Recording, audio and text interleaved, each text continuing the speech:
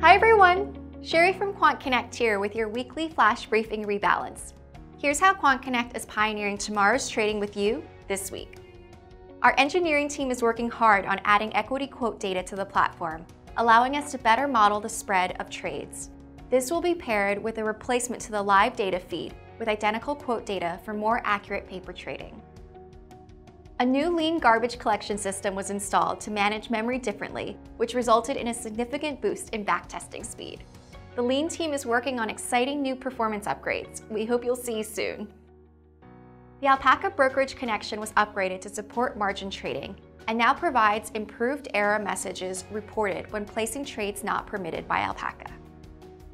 Market cap of stocks is now available on the Fine Fundamental Data Points during universe selection, Market cap is calculated by the stock price multiplied by the number of shares.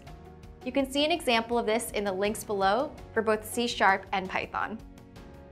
Finally, we're excited to announce a new series of tutorial videos to accompany bootcamp lessons. In each video, we complete the coding tasks together, point out what to pay extra attention to, and give further insight into QC's API. Check out the first videos in the link below. Like staying updated on the latest QC news? Throw us a thumbs up and subscribe.